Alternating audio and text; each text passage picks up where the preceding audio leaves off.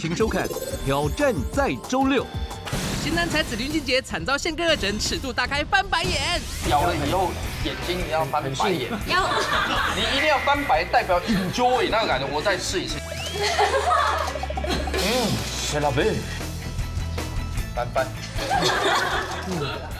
哇，谢老贝，介绍你去那个李炳辉的按摩店。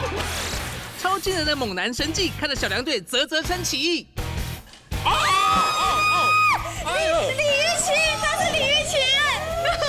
天哪！这只有日本屋顶看才看过这种东西。真的耶！是这样。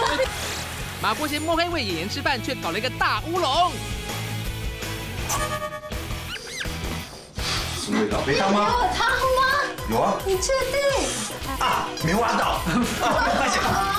精彩绝伦的爆笑内容，就在本周六晚间八点的周六大挑战。